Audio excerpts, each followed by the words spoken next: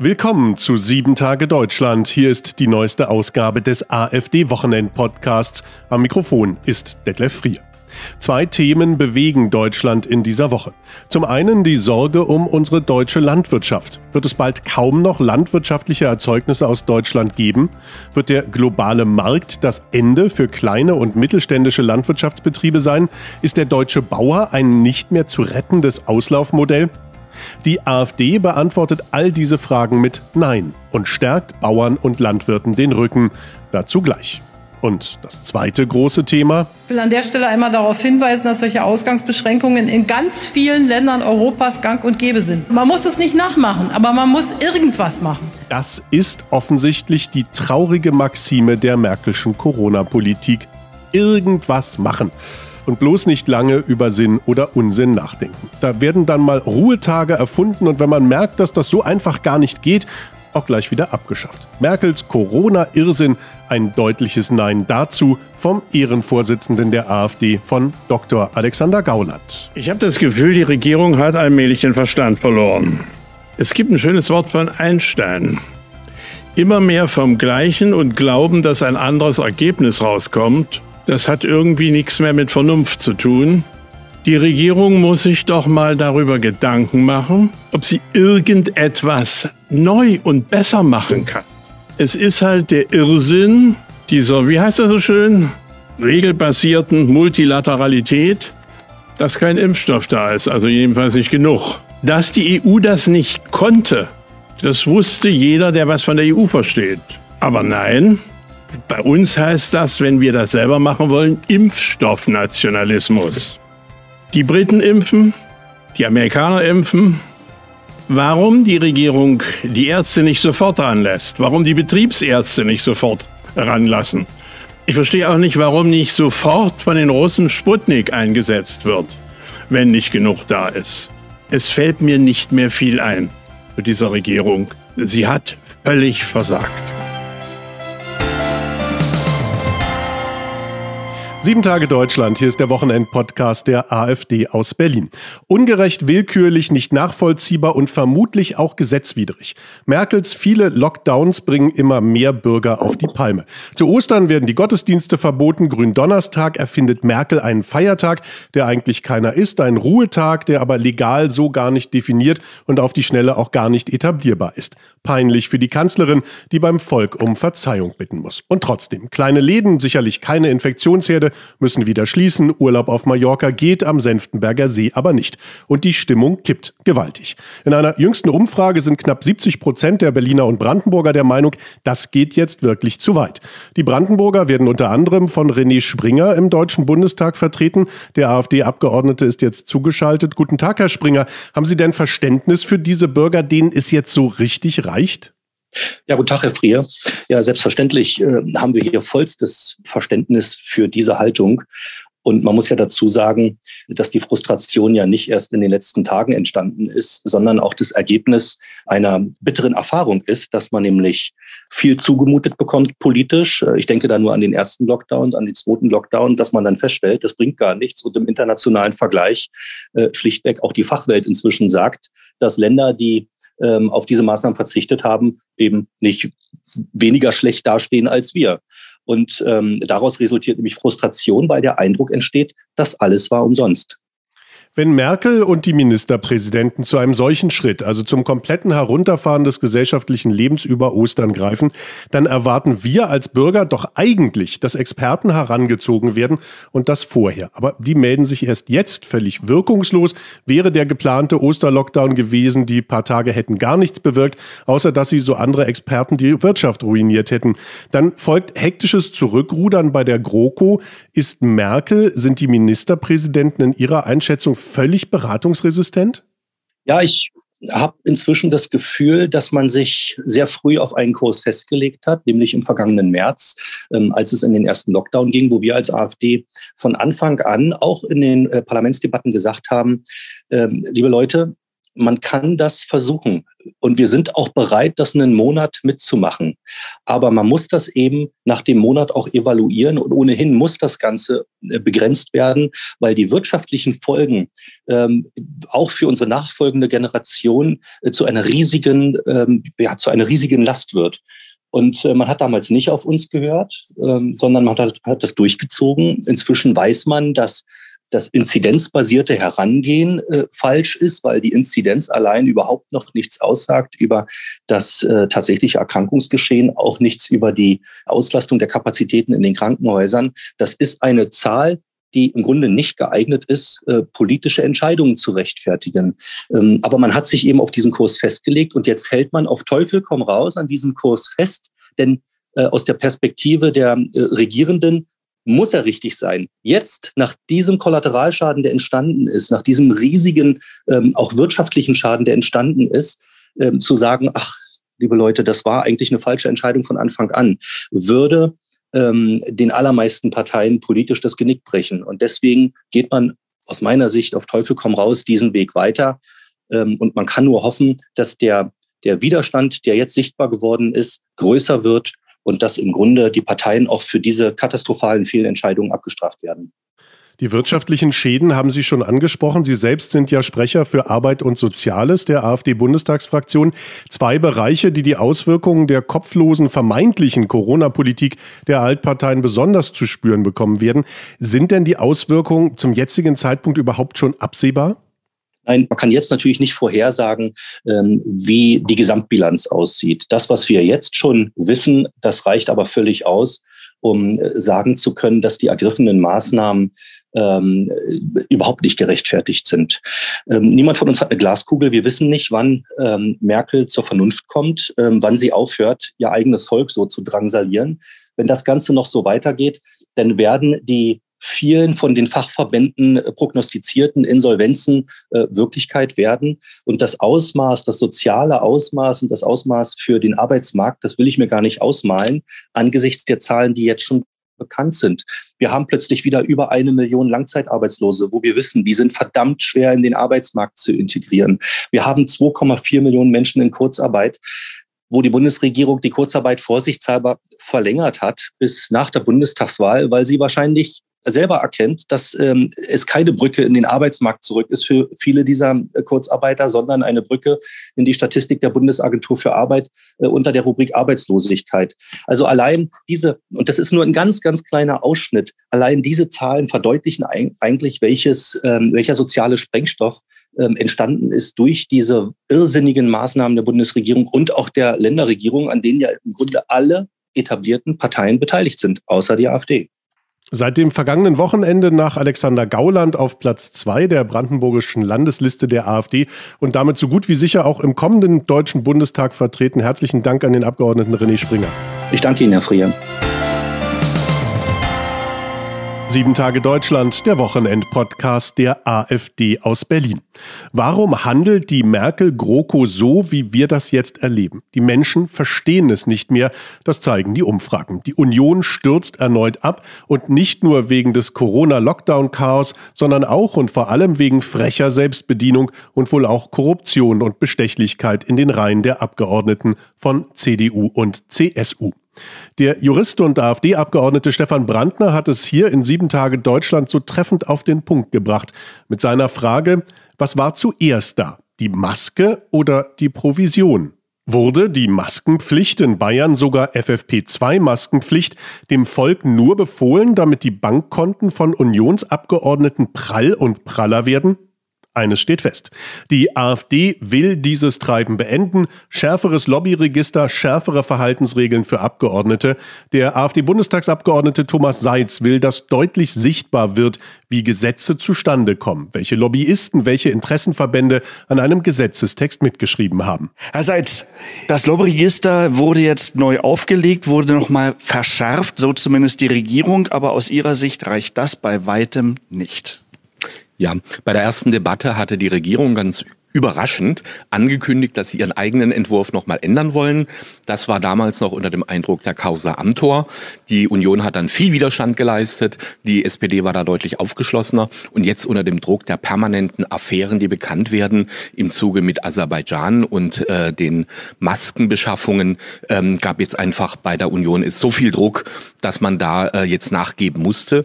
Allerdings der Entwurf, der jetzt eingereicht wurde, ist immer noch nicht weitgehend genug. Da gibt es noch viel zu viele Lücken. Es ist jetzt kein reines Feigenblatt mehr, aber immer noch kein scharfes Schwert. Was sind denn das für Lücken, die da äh, aus Ihrer Sicht äh, noch drin sind in diesem äh, Lobbyregister? Wo können die Leute, also die Abgeordneten hier im Deutschen Bundestag weiter betrügen? Ähm, da geht es jetzt weniger um die Abgeordneten, sondern um die Frage, wo die Registrierungspflicht von Lobbyisten beginnt.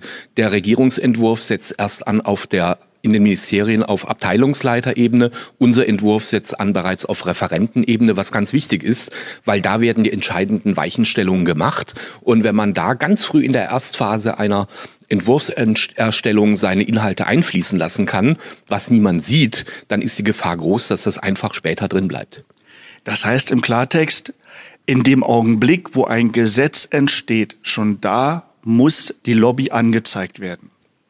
Unser Ziel ist der legislative Fußabdruck. Das heißt, man muss einem Gesetz nachher entnehmen können, wer alles dort von Seite von Lobbyisten, Interessenträgern, Sachverständigen mitgewirkt hat, dass der Bürger sieht, welche Interessengruppen Einfluss genommen haben und auch dann ihre Interessen im Gesetz wiederfinden. Das sieht der Regierungsentwurf nicht vor. Das ist unser großer Vorwurf auch weiterhin. Hier wird ähm, verhindert, dass Transparenz für den Bürger geschaffen wird. Jetzt haben wir ja gerade aktuell den Maskenskandal, wo auch wieder Geld abgekocht wurde, wo auch die Lobby offensichtlich da reichlich, gerade jüngst der Fall mit dem Ehemann von Jens Spahn, der über Broda Masken ans Gesundheitsministerium verkauft hat. Wird das weiterhin stattfinden können, auch jetzt mit einem verschärften Lobbyregister? Beim Lobbyregister geht es nur um Transparenz. Ähm, was Sie jetzt angesprochen haben, das sind Fälle von Korruption oder zumindest Korruptionsverdacht. Ähm, das sind nochmal ganz andere Kategorien. Da geht es um die Verhaltensregelungen. Was darf ein Abgeordneter und was darf er nicht? Auch da brauchen wir eine Verschärfung. Auch dafür haben wir Anträge eingebracht. Unser Ziel ist es, dass Abgeordnete nicht mehr als Lobbyisten tätig sein dürfen. Das ist ganz klar aus meiner Sicht die Voraussetzung, um hier die Integrität des Bundestages zu wahren. Tino Kropalla, äh, der Parteisprecher, sagte bei uns im Interview hier bei Sieben Tage Deutschland, wir brauchen einen gläsernen Abgeordneten. Insofern stimme ich unserem Parteivorsitzenden und stellvertretenden Fraktionsvorsitzenden zu. Das sollte auch der eigene Anspruch an uns Abgeordnete sein, dass wir unsere Nebeneinkünfte offenlegen und am besten auch gar keine größeren Nebeneinkünfte haben, denn die kann ich nur dann erzielen, wenn ich die Mandatsarbeit vernachlässige. Vielen Dank, Thomas Seitz, Sprecher Parlamentsrecht und Geschäftsordnung im Deutschen Bundestag der AfD-Bundestagsfraktion. Sieben Tage Deutschland, der Wochenendpodcast der AfD. Ich bin Tobias Weber. Rettet die deutsche Landwirtschaft, damit es morgen noch deutsche Bauern und deutsche Landwirtschaftserzeugnisse gibt. Das ist eine Initiative unserer Bundestagsfraktion und unser Schwerpunkt gleich nach den Nachrichten aus den deutschen Ländern jetzt in Sieben Tage Deutschland.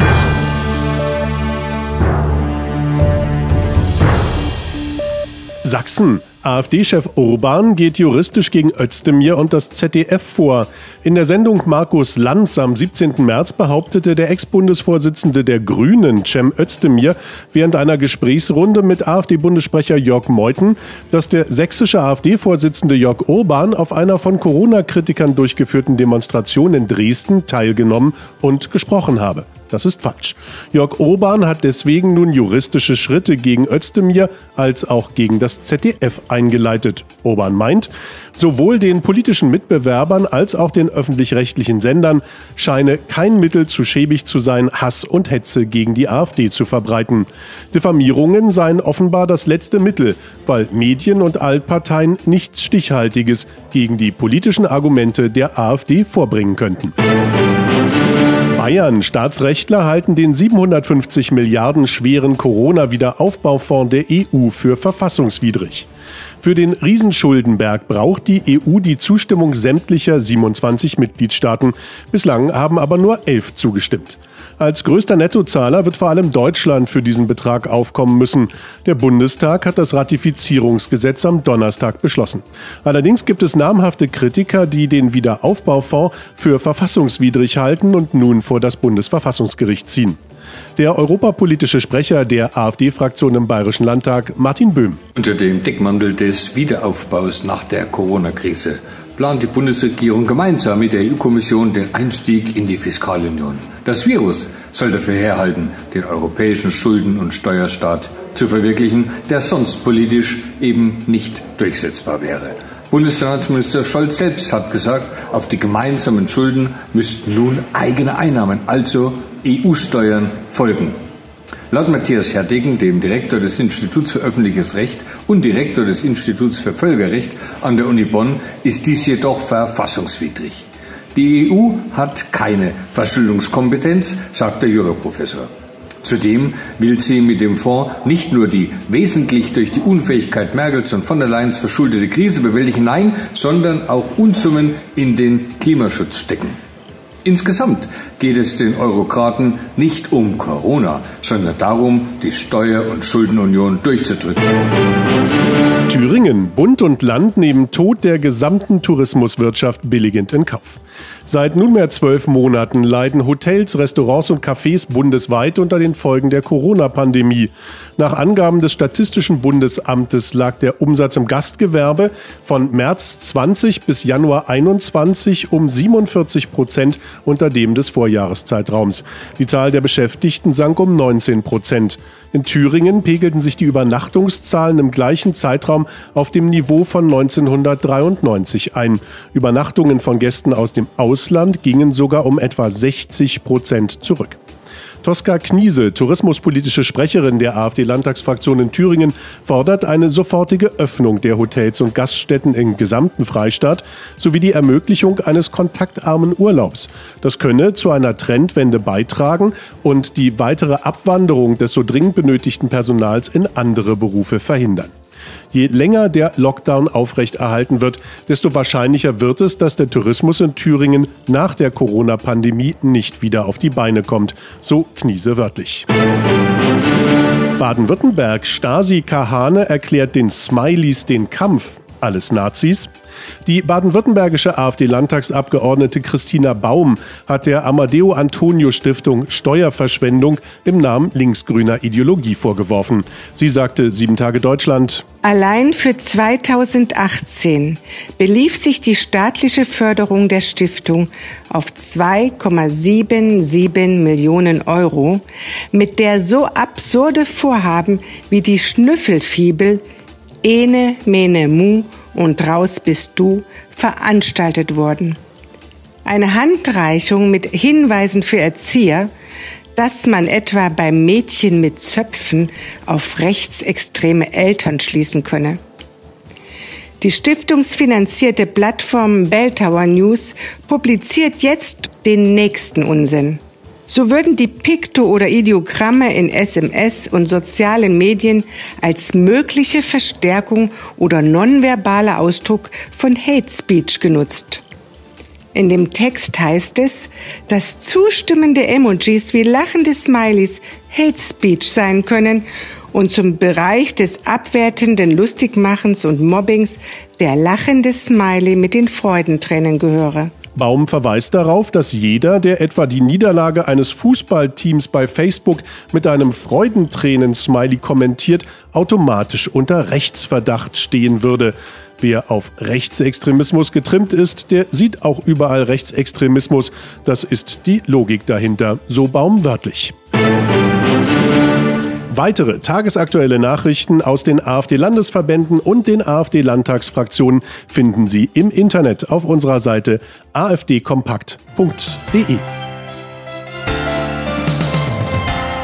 Die neueste Ausgabe des Wochenend-Podcasts der AfD aus Berlin hören Sie Sieben Tage Deutschland. Das klingt nach Fiktion, ist aber gar nicht so abwegig. Die deutsche Landwirtschaft ist bedroht von einer globalen Wirtschaft, die fast alles überall auf der Welt günstiger herstellen kann und mit mehr Profit verkaufen kann, als in Deutschland produziert ist. Da verdient der Discounter einfach mal mehr an einer Möhre, die um die halbe Welt gereist ist, als an einer, die vom Acker nebenan kommt.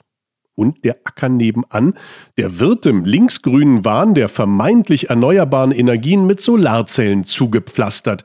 Hektar um Hektar. Gutes deutsches Ackerland wird von der Kulturlandschaft zum Industriegebiet. Eine schon fast als pervers zu bezeichnende Entwicklung, von linksgrün herbeigeredet, von Merkels GroKo beklatscht. Ist es tatsächlich nur noch die AfD, auf die die Bauern zählen können? Der landwirtschaftspolitische Sprecher unserer Bundestagsfraktion ist Stefan Protschka, jetzt im Gespräch mit unserem Hauptstadtreporter Tobias Weber. Herr Protschka, wir haben doch nun die Lebensmittelampel. Was wollen Sie denn noch? Na, wir wollen eine vernünftige Herkunftskennzeichnung. Erstens ist ja die Lebensmittelampel noch freiwillig.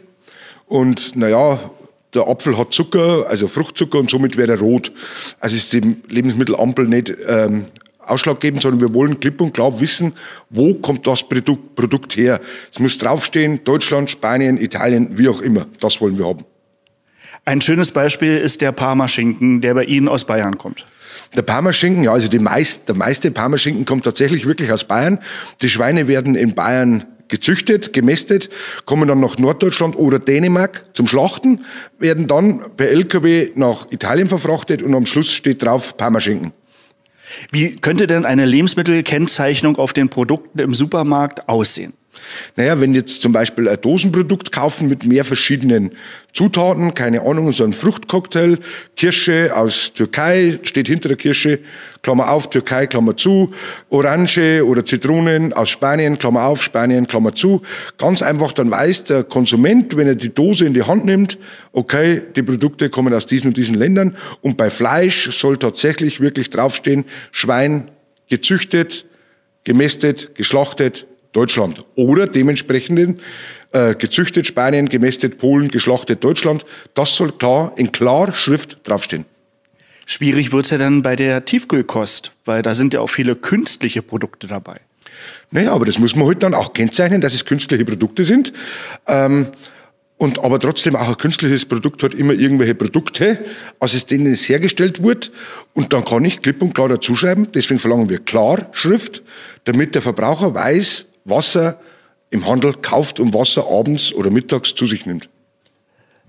Des Weiteren geht es in der AfD-Initiative Landwirtschaft stärken ja auch darum, dass man zum Beispiel auch die bäuerlichen Familien hier in Deutschland wieder stärker unter den staatlichen Schutz nimmt, dass die also nicht komplett frei äh, dem, dem, dem, dem, dem Markt ausgesetzt sind. Ja, Unsere deutschen Landwirte haben die höchsten Tierschutzstandards, haben die höchsten Umweltschutzstandards, haben die höchsten arbeitsrechtlichen Standards, was ja in Ordnung ist. Aber dann müssen wir sie gleichzeitig gegenüber Importen aus Drittländern außerhalb der EU schützen, die weniger Umweltschutz haben, die weniger Tierschutz haben und weniger Arbeitsschutz haben. Und dann schauen wir nach Südamerika zum Beispiel. Dort gelten ganz andere Regeln und das, die sind natürlich viel, viel preiswerter als hier bei der Produktion in Deutschland. Na ja, klar, wenn Sie jetzt nach Südamerika gucken, da wird das Glyphosat per Flugzeug ausgebracht. Also so viel zu Pflanzenschutzmittelschutz. Ähm, da wird Genfleisch produziert. Die haben eine ganz andere ähm, Vorstellung, was Gen ist oder genverändert ist als wir in Deutschland oder in Europa. Und auch, wie gesagt, die Tierschutzstandards oder Umweltschutzstandards, wenn sie mal in solchen Ländern waren, die lassen zu wünschen übrig. Weiteres Problem, gerade jetzt in Corona-Zeiten, ist natürlich die Saisonkräfte. Die sind dringend notwendig, aber es hakt weiterhin. Die Spargelbauern hier in Brandenburg, so habe ich das erfahren, haben mittlerweile schon im äh, Februar die Saisonkräfte angekarrt, aber das kann sich nicht jeder Landwirt leisten. Also Saisonkräfte, da muss was passieren. Ja, wir wollen natürlich die Einreise erleichtern, weil es kann nicht sein, dass vor allem auch bei Spargel oder bei Obst, jetzt bei der, bei der, bei der Aussaat oder bei der Pflege dann oder später bei der Ernte, die Saisonarbeitskräfte fehlen. Das ist, sind unsere Vitamine, die wir zu uns nehmen. Und die sind gerade jetzt in Pandemiezeiten ja sehr, sehr wichtig. Und wenn die Arbeitskräfte fehlen, dann fehlen uns die Vitamine. Und das darf nicht passieren. Seit Wochen rollen die Trecker hier durch Berlin, durchs Berliner Regierungsviertel. Der Bauernverband hat ja davon abgeraten. Also der Bauernverband, der Deutsche Bauernverband unter Herrn Ruckwick ist der einzige Verband, der davon abgeraten hat, an der Demonstration teilzunehmen, weil man würde ja irgendwann die Regierung wieder mal benötigen und sie würden ja gut mit der Regierung zusammenarbeiten. Ähm, ich will jetzt nicht sagen, oder ich kann das Bayern sagen, fast jeder Bauernverband, Kreisvorsitzende ist ja Mitglied in der CSU. Also klar wollen die die eigenen Leute nicht anschießen. Aber jetzt ist nicht mehr Zeit, auf Politik zu gucken. Die Leute kämpfen um ihre Existenz, die kämpfen um die Ernährung ihrer Kinder, die kämpfen ums Überleben. Und da muss jeder zusammenhalten. Vielen Dank, Stefan Protschka, agrarpolitischer Sprecher der AfD-Bundestagsfraktion. Sieben Tage Deutschland, der Wochenendpodcast der AfD. Ich bin Tobias Weber. Wir bleiben im Thema. Die AfD macht sich stark für die deutschen Bauern und die deutsche Landwirtschaft und das auch auf EU-Ebene. Dr. Silvia Limmer ist Abgeordneter unserer Partei im Brüsseler EU-Parlament. Sie macht im Parlament eine erschreckende Beobachtung. Die Landwirte sollen weg von der Lebensmittelerzeugung und hin zu irrer linksgrüner vermeintlicher Klimarettung. Da muss man feststellen, dass dort die Landwirte eher so die Störung der, des Klimas, äh, die Störung der Umwelt darstellen und äh, dass vielfach die Idee aufkommt, also das ist völlig abwegig eigentlich, dass man versucht, den Landwirt sozusagen in die Klimapolitik mit einzubinden und das ist sogar in ähm, Hof, äh, vom Hof äh, auf den Tisch. Strategie heißt, es gäbe vielleicht sogar ein neues grünes Geschäftsmodell, also den Landwirt äh, zum CO2-Anbau, überspitzt jetzt mal an, ausgedrückt, äh, zu motivieren. Und ich denke, das ist natürlich die völlig falsche Richtung, weil ähm, also Landwirte sind die Versorger äh, unserer ähm, Bevölkerung mit wichtigen Lebensmitteln und das ist natürlich auch ganz wichtig im Sinne des Verbraucherschutzes. Denn je weiter weg ein Lebensmittel erzeugt wird, desto weniger können wir kontrollieren, was da wirklich auf den Tisch kommt. Nur was ich hier im Land oder in der Europäischen Union, in dieser, in dieser Mitgliedstaaten produzieren kann, nur da habe ich auch letztendlich die Gewähr, dass die nach den Regeln und nach der guten Praxis, die wir letztendlich bestimmen, dann auch produziert werden. Der Landwirt als Störer das ist das Bild, was von links und grün propagiert wird. Doch was stets vergessen wird, es sind die Landwirte, die durch Anbau und kurze Transportwege dafür sorgen, dass CO2 umgewandelt wird bzw. gar nicht erst entsteht. Die Bauern zum Boomern zu machen, eine solch verquere Denkweise kann nur aus dem Lager derer kommen, die den vermeintlich Grünen nahestehen. Wie sieht die AfD den Landwirt und seine Rolle in unserer Gesellschaft? Frage an Hannes Loth. Er ist Abgeordneter im Landtag von Sachsen-Anhalt und selber studierter Landwirt. Der Landwirt ist für uns in der AfD natürlich systemrelevant. Bei den Grünen und den Roten ist er eindeutig der Störenfried. Das ist der, der dort die Umwelt zerstört. Das ist der, der die Umwelt mit äh, Gülle überflutet. Das ist der, der die äh, Menschen auspresst, mit giftigen Produkten versorgt. Ja?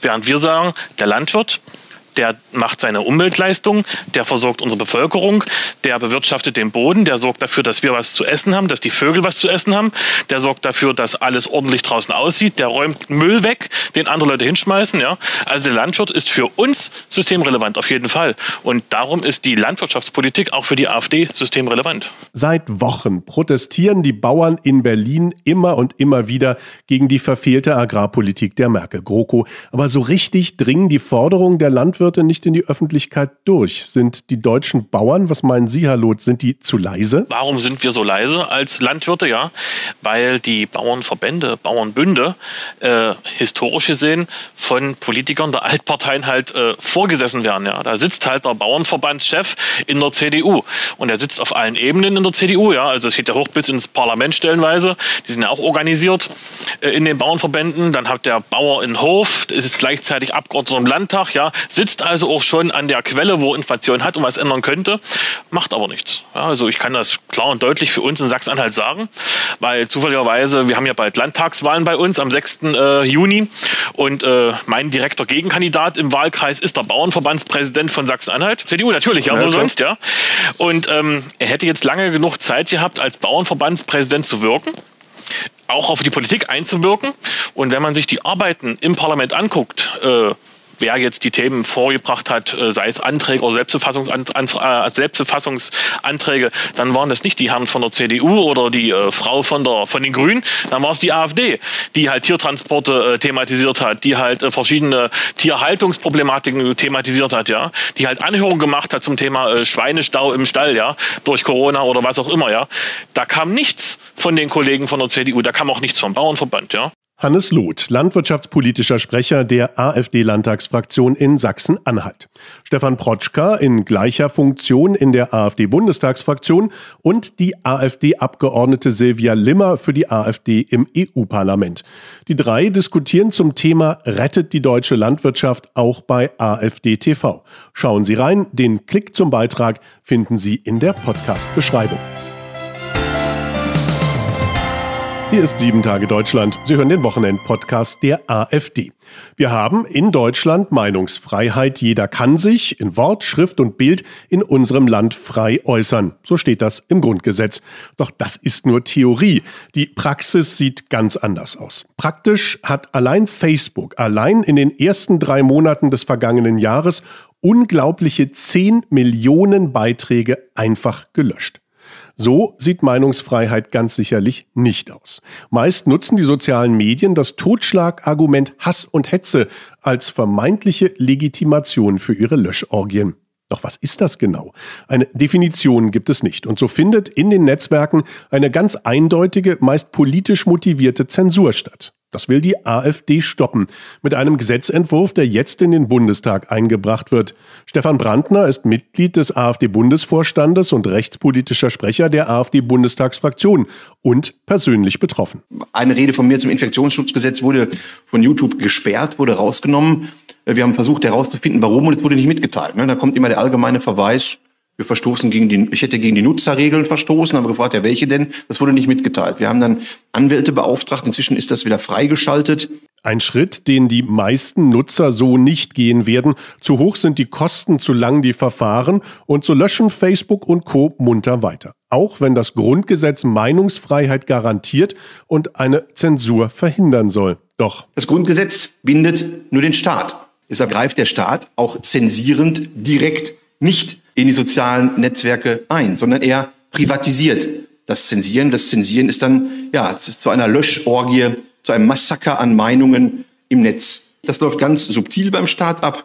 Es wird immer geredet über Hass und Hetzrede und das sind Begriffe, gerade die Hetze, die gab es eigentlich. Ich kann mich die ersten Jahrzehnte meines Lebens gar nicht daran erinnern, dass die Hetze mal irgendwann eine Rolle spielte. Die Hetze war in der DDR ein Kampfbegriff gegen Opposition. Da gab es die Boykotthetze und die staatsfeindliche Hetze. Und diese Hetze hat jetzt wieder so eine Renaissance erlebt, sage ich mal, im Kampf gegen die kritischen Geister in Deutschland. Und Hass an sich mag man ablehnen, aber jeder definiert natürlich Hass anders. Und Hass als solcher ist keine Straftat. Straftaten haben wir im Strafgesetzbuch überwiegend geregelt. Da gibt es Straftaten, die Richtung Hass gehen, sage ich mal. Beleidigung, Verleumdung, äh, üble Nachrede und solche Geschichten. Aber der Hass als solcher ist keine Straftat. Und so sieht es die AfD auch nicht als Aufgabe der Anbieter, zensierend einzugreifen. Facebook und Co sind einst als Plattformen an den Start gegangen und die sind nicht dafür verantwortlich, was Nutzer auf ihnen veröffentlichen. Das müssen nur Medien tun. Also ist es an den Anbietern zu entscheiden, was sie sein wollen. Plattform oder Medium. Und genau darauf zielt der Gesetzentwurf der AfD ab. Noch einmal Stefan Brandner zwei dezente Eingriffe ins Telemediengesetz. Einmal, die Plattformen müssen sich entscheiden, bin ich eine Plattform oder bin ich ein Medium? Mit der Konsequenz, wenn ich eine Plattform bin, habe ich das Privileg und muss mich nicht um alles kümmern, was bei mir veröffentlicht wird. Wenn ich mich fürs Medium entscheide, muss ich mich als Anbieter darum kümmern, was veröffentlicht wird. Und der zweite Punkt, generelle Auflage an marktbeherrschende soziale Medien, dass sie nur das sperren dürfen, was strafrechtlich oder durch allgemeine Gesetze sanktioniert ist. Ich denke mal, wenn wir diesen Gesetzentwurf einbringen und auch debattieren und im Ausschuss dann weitermachen, wird sich der ein oder andere auch von den Altparteien darüber Gedanken machen und vielleicht gehen wir dann wieder in die Richtung, wo wir herkommen, dass eben jeder das Recht hat, sich in äh, Wortschrift und Bild frei zu äußern und eine Zensur in Deutschland nicht stattfindet. Und das dank der AfD. Sie hören Sieben Tage Deutschland aus Berlin, der Wochenend-Podcast. Haben Sie sich Merkel in der Fragestunde am Mittwoch im Bundestag angesehen, als sie kleinlaut gestehen musste, den nächsten großen Fehler zum Schaden aller Deutscher gemacht zu haben? Da gab es in ihrer Rede einen Punkt. Hören wir mal ganz kurz rein. Das bedauere ich zutiefst. Und dafür bitte ich auch von dieser Stelle noch einmal die Bürgerinnen und Bürger und auch Sie, liebe Kolleginnen und Kollegen, um Verzeihung. Genau diesen Punkt, als alle die Luft anhalten und denken, Sagt sie es jetzt? Sagt sie, und damit ziehe ich aus allem, was ich dem deutschen Volk angetan habe, die Konsequenz und trete als Kanzlerin der Bundesrepublik Deutschland zurück. Die Hoffnung darauf schwindet schnell. Munter schnattert Merkel weiter, keine Spur von Verantwortungsgefühl. Aber einige von Ihnen hatten ganz ähnliche Hoffnungen, wie wir bei WhatsApp hören. 030 439 70765, das ist unsere Nummer 030 439 70765. Ja, die Merkel, die macht sich doch in ihren hautfarbenen Panzer. Die hat doch Schiss, die Vertrauensfrage zu stellen. Ich finde, Entschuldigung reicht da nicht. Man muss dann auch die Konsequenzen ziehen und zurücktreten. Sie sollte lieber abtreten und alle Ämter niederlegen und ihr Gefolge gleich mit. Komplett zurücktreten, was denn sonst? Abdanken müssen, den Hut nehmen müssen, zurücktreten müssen, auf jeden Fall weg von der Bildfläche. Sie ist äh, eine Katastrophe für diese Regierung. Die sogenannte Kanzlerin Angela Merkel sollte sich nicht nur entschuldigen für ihr Versagen, sie sollte meiner Meinung nach sofort zurücktreten und sich vor einem ordentlichen Gericht für ihr Versagen verantworten. Anstelle der Verzeihung, Frau Merkel muss mit ganzen Orgienkumpanen mit Schande zurückzutreten. Zum Ostern gesagt und von Gottes Wort. Sie ist fruchtloses Baum, sie kann nicht gute Früchte bringen. Dem ist dann tatsächlich nichts mehr hinzuzufügen. Wenn Merkel nicht noch auf die blöde Idee kommt und doch noch irgendeinen Feiertag erfindet, kommen wir mit Daumendrücken mit der nächsten Ausgabe nächste Woche bereits am grünen Donnerstag zu Ihnen. Dankeschön fürs Zuhören für diese Woche. Bleiben Sie bitte tapfer und frohen Mutes in all dem Altparteien-Irrsinn. Das war sieben Tage Deutschland für heute. Am Mikrofon war Detlef Frier. Tschüss.